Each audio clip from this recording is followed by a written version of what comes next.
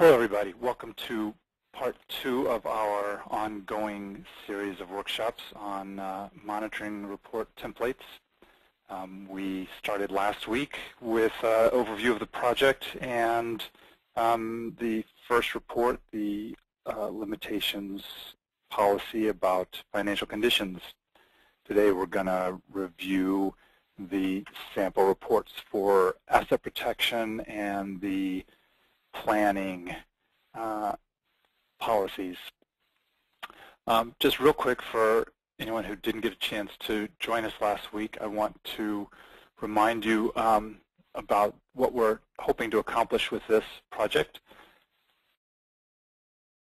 First, we want this to be something that works for managers, that you have the tools, um, some ideas, some resources, some examples that you could use, maybe even to plug right into your own reporting um, to make this uh, work easier for you.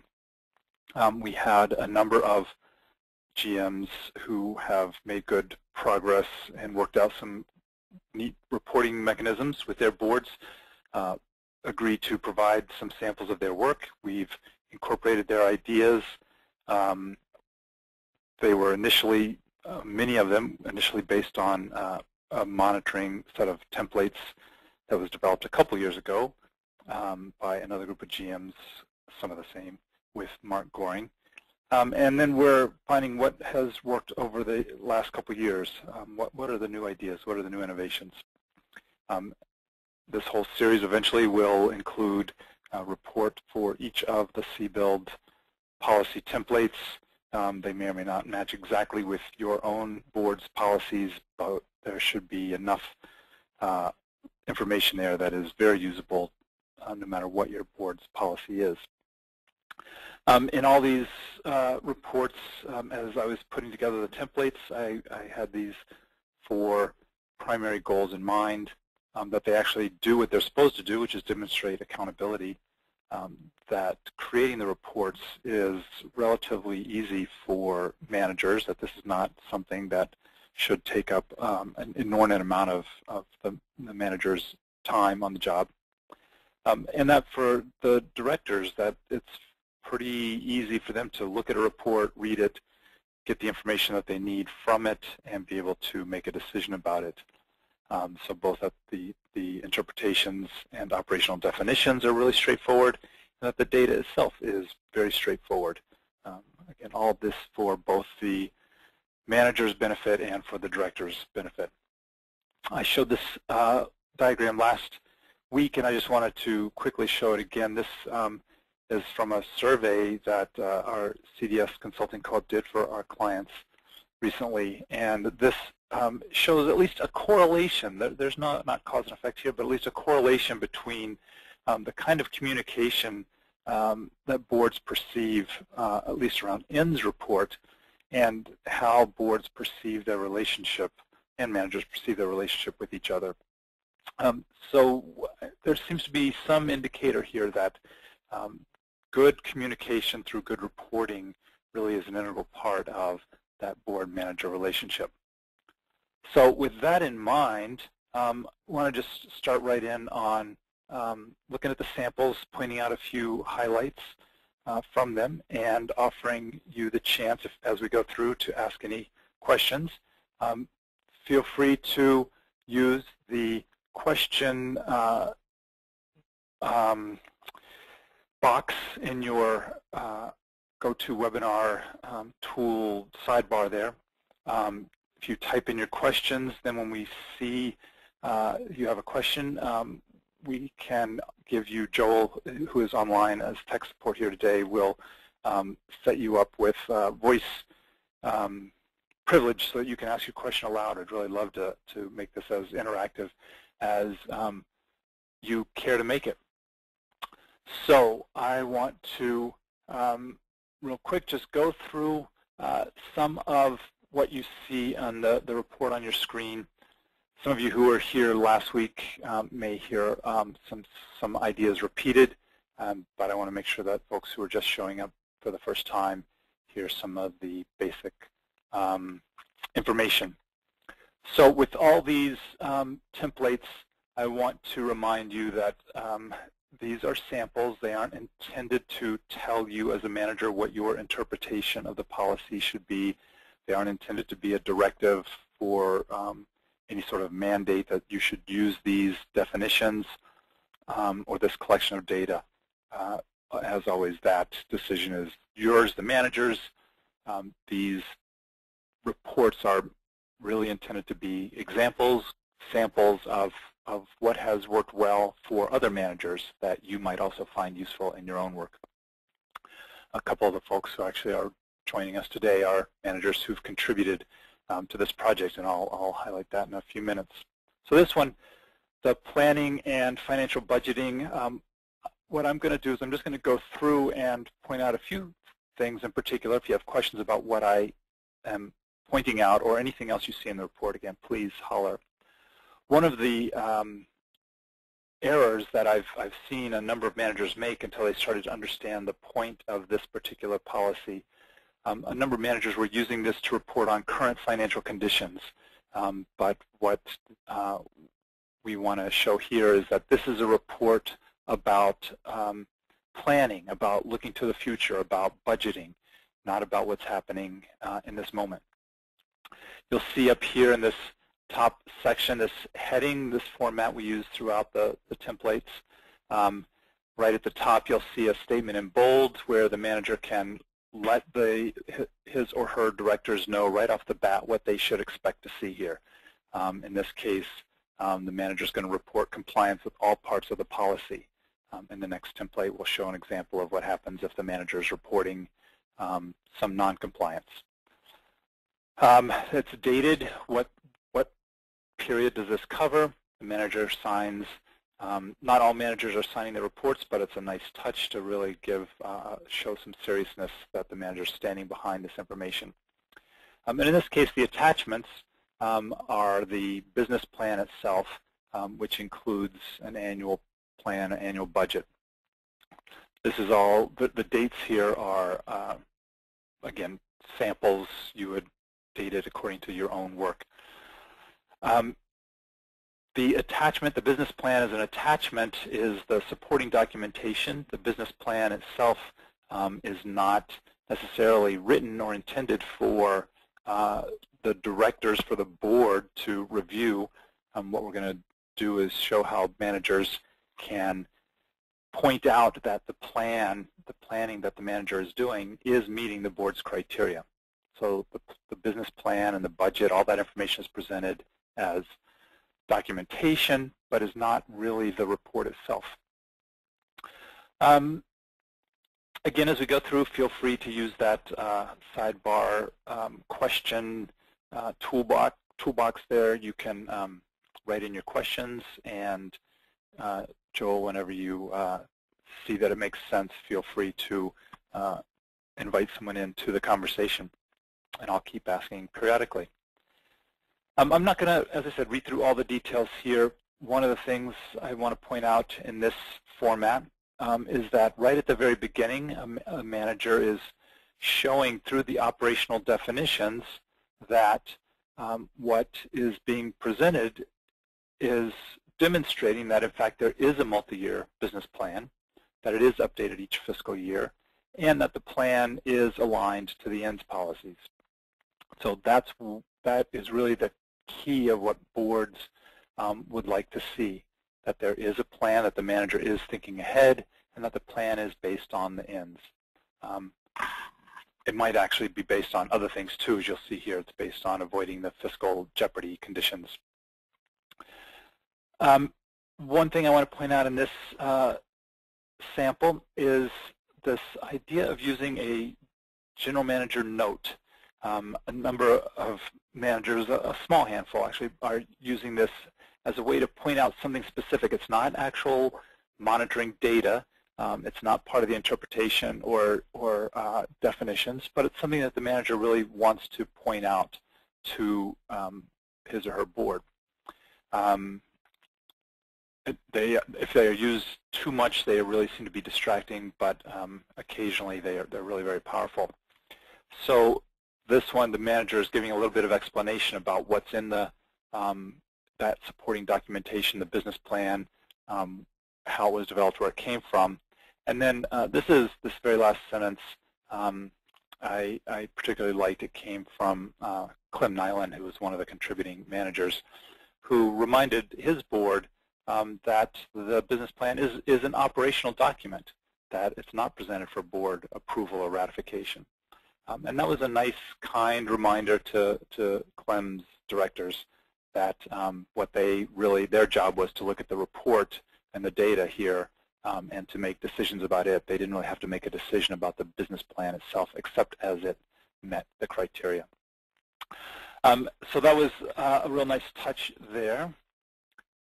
Um, here in the uh, first sub-policy, um, a couple things that seem to really be working well for managers um, that I'll point out and you'll see throughout both of these samples today.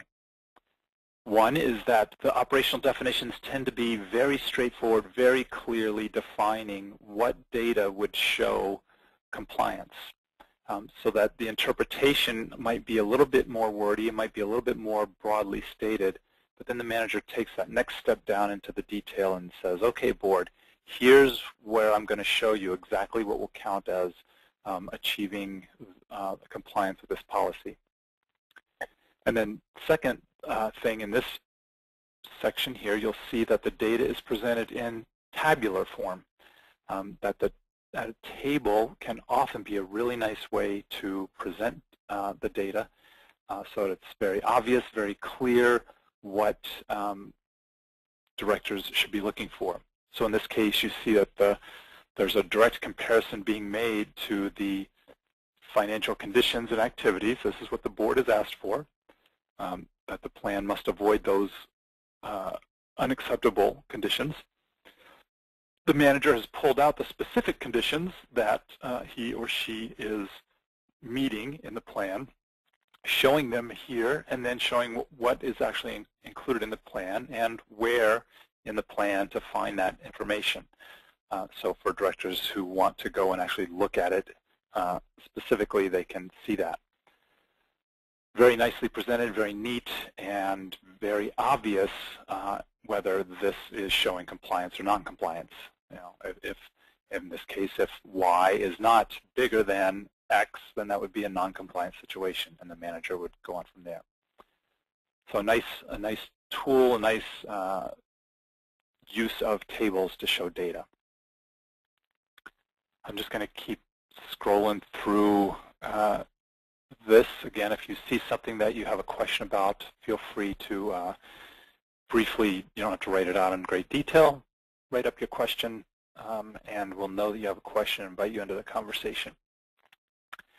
Um, one thing that, uh, that uh, these managers who are being successful with their boards and with their reporting are finding is they're not trying to spend a lot of time giving dictionary definitions of the policy. Um, that, that's a, a dilemma that a number of managers have found is they define the words very specifically, but then that doesn't actually help go the next step to create the operational definitions. Um, so uh, a number of managers are finding that in their interpretation they can, again, just give kind of that, um, it's almost it's almost like they're saying, here's how I'm thinking about this. When, you, when you say that, here's what I'm hearing from you. Uh, and it's not necessarily meant to be an exact repetition or, or a dictionary definition, um, but just kind of a, a turning it into the manager's language, the manager's thought process. Again, going from the interpretation to the operational definition.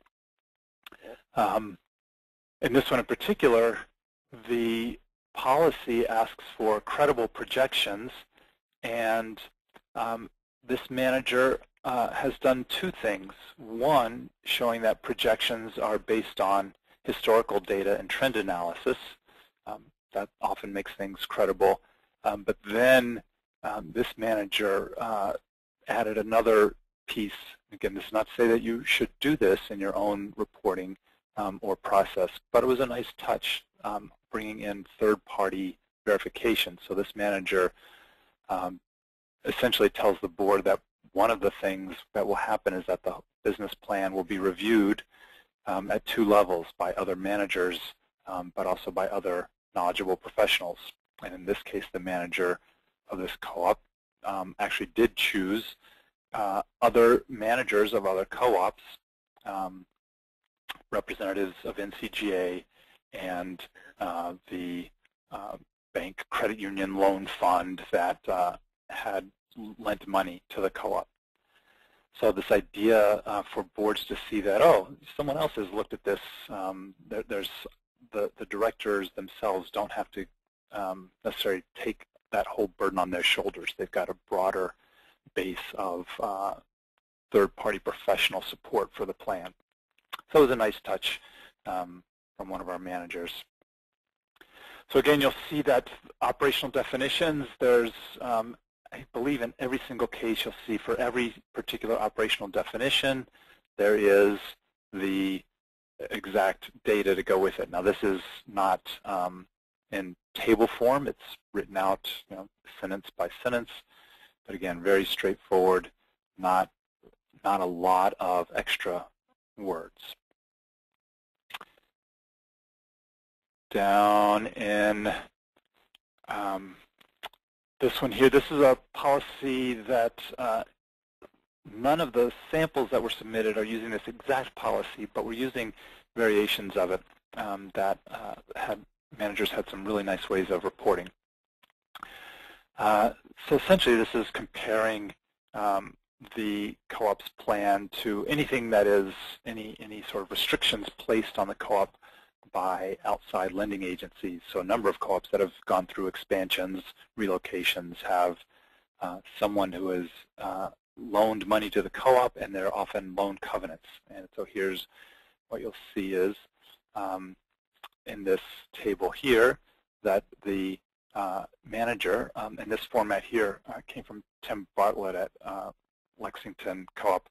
Um, this is not necessarily his data, but but this format um, where, where, what are the loan requirements and um, showing both the historical information. Here's what we've done historically, helping boards see the trend, but also primarily focusing on what is the what what does the budget show? And this this is the key sentence here, so that the manager says to the board, there's other information here that's for your information, um, but I am really going to point to you that that's FYI and that the budget itself is what we're talking about here. You will have seen, uh, for any of you who looked at the report last week, you'll see similar things in some of the graphs that we showed. In this case, there are two tables because there's two different sets of criteria that the manager is reporting on. Um, and even though the, the data within the, the, um, the tables looks very similar, um, it's just being compared to different criteria. So you might find you could do that all in one table or that it's easier to show in two different tables. Again, formatting is up to you and your board. What, what is easy, what is clear. Um, here we go. Testing for feasibility. This is uh, one that I'm not going to spend uh, too much time on the details of, uh, but one of the things that um, as boards are giving more um, power to managers to really plan ahead. Um, if you are beginning to plan an expansion or relocation project or other major project, a board would need to know that that's a feasible plan, that there's there's some way to, for the board to support it, to sign off on it, to approve the, the loans, whatever it might be. Um, so how would that plan be tested for feasibility? in this case, um, a great way to uh, define what makes something feasible is by, again, relying on a third party, an outside source, and a number of managers and boards and co-ops have relied on the expansion toolbox uh, by Bill Gessner and Mary Courteau.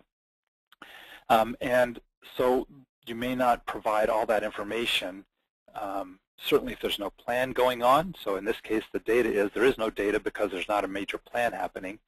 Um, but if there was a major plan, a board would know ahead of time because this is in their what they're getting in their report that this is the kind of information that they would be expecting to see.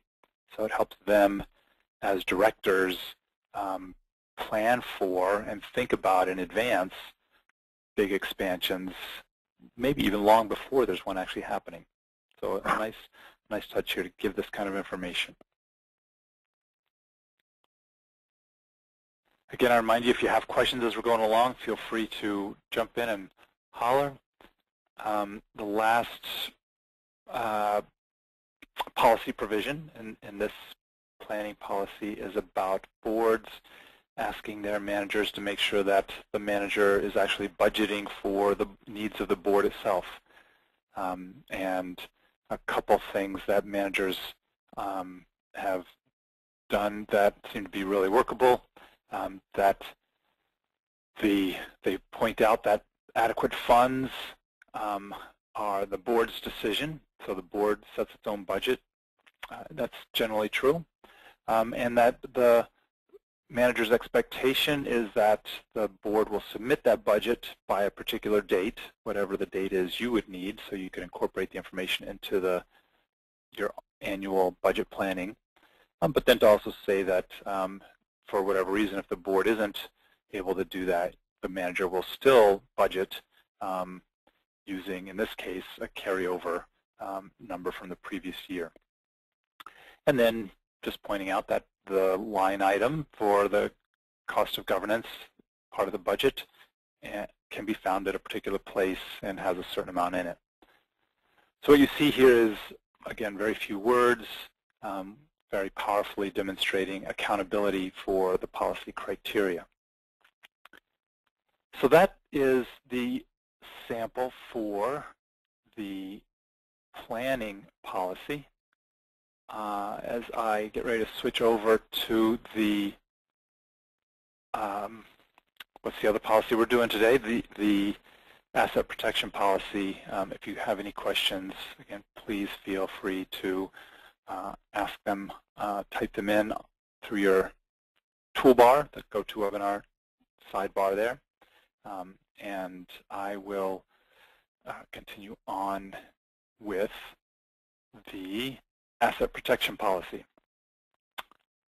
So I want to take this moment here. Um, some of the folks who are joining us today are actually uh, managers who contributed their their uh, monitoring reports to this project. Um, and I just want to give a quick thanks to um, the managers who agreed to share some of their information, their their reporting styles. Um, Tim Bartlett, Glenn Bergman, Kari Bradley, Crystal Halverson, Pam Maynard, Clem Nilan, Rita York. Thanks to all of you for contributing to this project. It's been very educational for me, and I believe so far uh, for other managers who are learning uh, along with us. Uh, so here we go. Compared to the last report we just showed, the, this heading, again, looks very similar. Except in this case, you'll see that the manager is actually pointing out to the board that there is a non-compliant situation. So a director who is sitting at home reading this report before the board meeting, um, maybe out on their porch swing with a nice cup of iced tea here on a warm summer evening, um, they'll say to themselves, aha, I better pay close attention to that piece there because I know that as a director we'll have other decisions to make about a non-compliant situation. So right at the top, the, the manager is helping the directors understand what they should be looking for. But otherwise, directors know that now they're going to read this report and expect to see um, accountability that demonstrates compliance. Here, uh, just real quick, I want to point out, if you haven't noticed it already, that the formatting um, there are a number of ways of highlighting different pieces, uh, whether it's colored fonts, types of fonts, something where there are there's a distinction where there's a the manager's clearly pointing out what the interpretation is, what the definitions are, and what the data is. So that that organization of the report itself um, is not the biggest part of the work, but can help your directors immensely and, and even direct uh, managers as you're writing the report. Um, in this case also, I wanted to point out how there are some samples here, not intended to be directives or mandates, again, as I said earlier, of a manager seeing that there are some things that he or she is paying attention to that fall under the the uh, domain of this top-level policy, but that aren't covered in any of the sub-policies below. And so the manager is going to use this opportunity here for saying two things.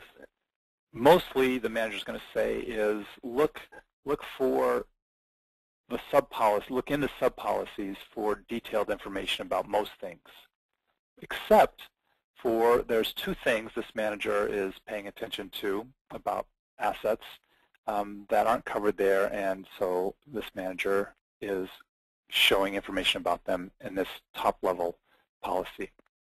In this case, the assets that the manager is showing are protected um, are the retirement plan uh, and deposits of co-op funds. A number of your policies that, that uh, boards have uh, created um, include this one about cooperative funds deposits uh, being insured or protected uh, as a sub-policy. So you might look at this example and see if you can incorporate this into your reporting. Uh, again, a table as a very clear way to present information. Um, here the manager's interpretation has said that I'm going to show you that the financial institution will have a rating above a certain level, um, rated by a reputable firm. How much is deposited is the data, um, and how does that compare to the how much is insured? Um, and uh, in this case, one of the deposits, one of the investments uh, in a cooperative fund. A number of co-ops boards and managers are finding that that's a valuable part of cooperative principles of supporting other co-ops. So in this one, it, it helps to read the language of the policy carefully, and what uh, I found when I looked at the reports that managers sent into me was that they had carefully delineated what the different policies were asking for. So in this policy, in this sample template, this is about insurance coverage. So, and it's insurance of equipment and facilities. And so here, a manager will demonstrate that there is sufficient insurance coverage. And in this case, um, the manager will report two definitions. One is that there will be sufficient coverage, and here's the table showing that uh, coverage. And second, that the manager is going to rely on a third party uh, to double check that coverage. And again, this is that, that using third party resources that are considered reliable is a great way for managers to support the reasonableness of their definitions, uh, interpretations, and data.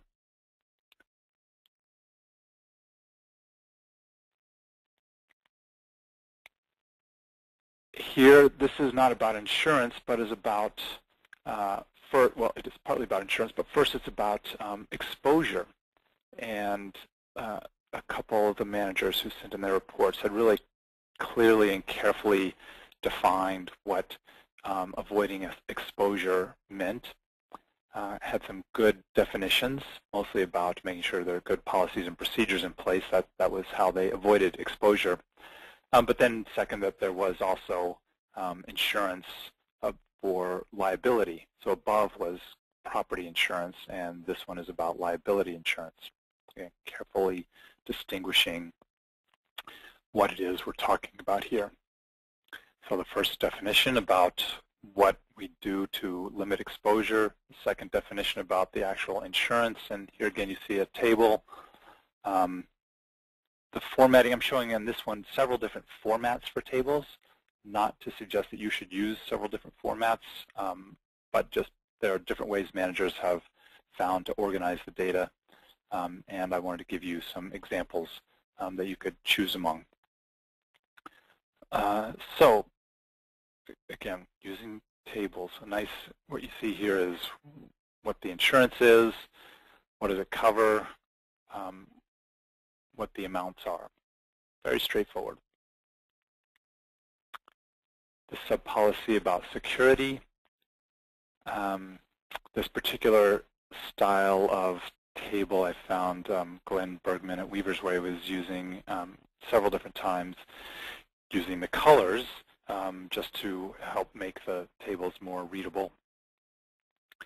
Um, you'll also see that uh, the table does one thing, which is report about the procedures, but also that um, this manager has said, I'm not going to give you reams and reams of internal operational policies and procedures. Um, I'm just going to tell you that, that we do have them. Here's the ones we have. And if you care to, if you want to have a direct inspection, which many, uh, well, which boards know is an option, very few actually use it, but the manager's saying, that's your prerogative. I want to let you know it's all available, but I'm not going to dump a bunch of extra paperwork in your laps. Most directors are very grateful for that.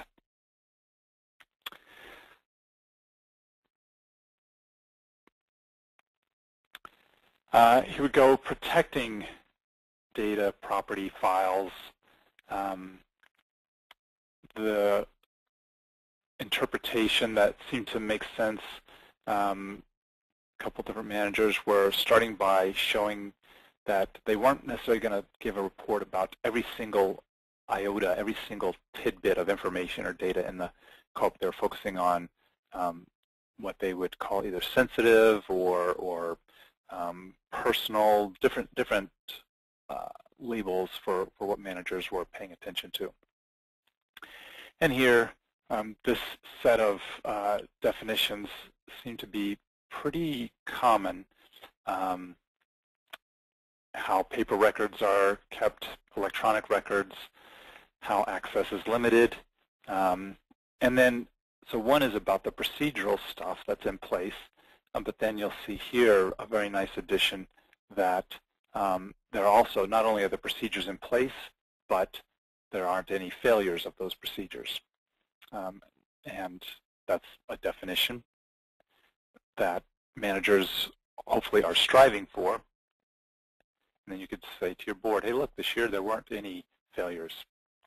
I want to point out uh, this one here that um, was a, a, a place where a GM was adding a new definition from the previous report and noted that. So here's a, another GM note where um, the, the GM is pointing out to the board, hey, you all pay attention here. This one's different this year. Here's the place where, because it's different, this is a new definition.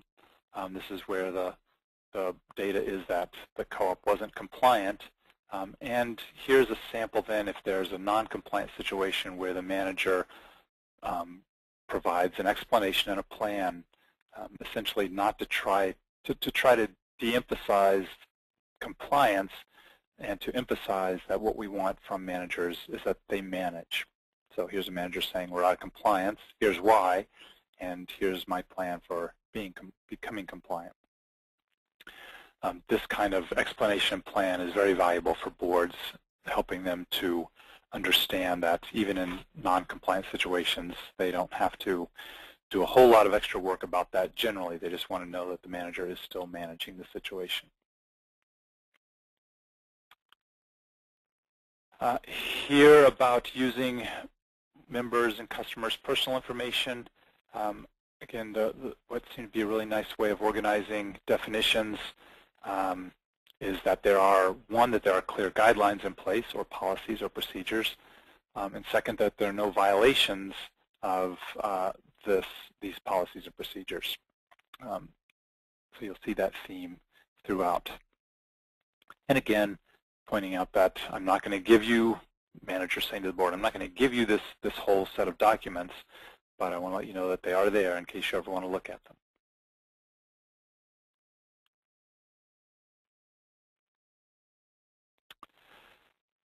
here about controlling for purchasing for conflict of interest. Um, the, most of the managers who submitted their sample reports we're using a reference to the co-op's auditor. Um, and as long as the, the procedures and processes in place met the auditor's standards, then that was considered uh, compliant. So a variety of ways of saying that. Here's one good example. Um, also pointing out that there are, again, procedures and policies in place and no violations have occurred, unless, of course, violations had occurred. But it's, but it's both pieces that seem to be very powerful that managers are reporting. One, that we do have the, the policies and procedures in place, and second, that they're actually being followed. And then we come down to um, due diligence. Here was a, a, a nice format for um, a manager pointing out that due diligence might depend on um, the exact contract or the exact acquisition, um, but I'm going to present the manager saying what uh, what you should expect to see. So here the, in the interpretation, you might see any of these things. Um, a management team review, legal review, other industry experts. Um, there might be co-op counsel review. So here just two samples, one where there was a lease, um, say for a co-op leasing a site, um, and one for a co-op purchasing a site, a low risk and a high risk. What's the, what's the, what is the risk, and how did we decide if it was um, okay, what was the due diligence, and then what was the decision.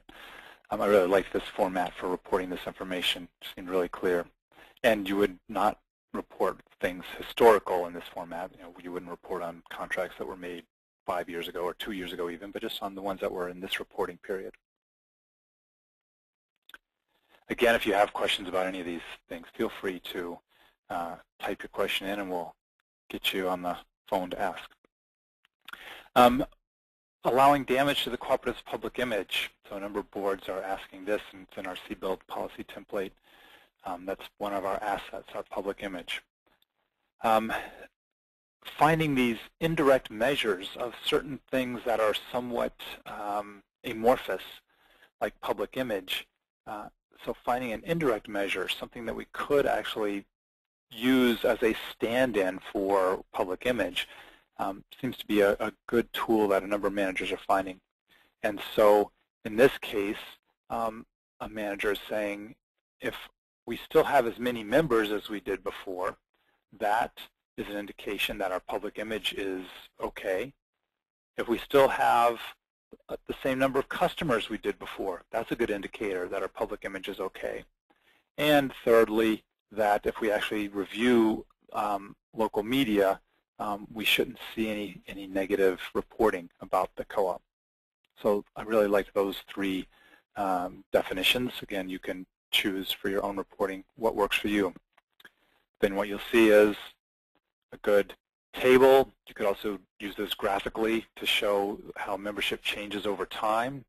Um, in this case, you'll see the numbers uh, growing over time and uh, that kind of information, seeing those sorts of trends can be very helpful for directors and managers.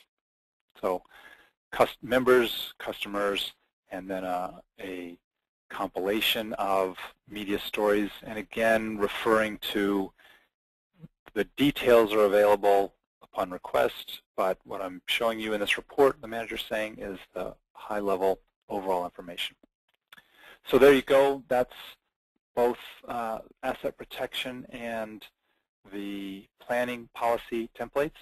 Hopefully you found something here that seems useful for you. I want to um, just check and make sure if there's any questions that you want to uh, ask before we sign off, please feel free to. I also want to invite you to um, talk with your fellow managers, any of those managers who uh, I mentioned who had supported this project with their samples or uh, your favorite CBLD consultant um, or your own board for uh, which of these formats might make sense for you. So with that, I... That, uh, if people had some last minute questions, they can also just raise their hand from the, from the GoToWebinar panel. um, and we can you can turn their mics on as well. If there were any last minute questions from the attendees.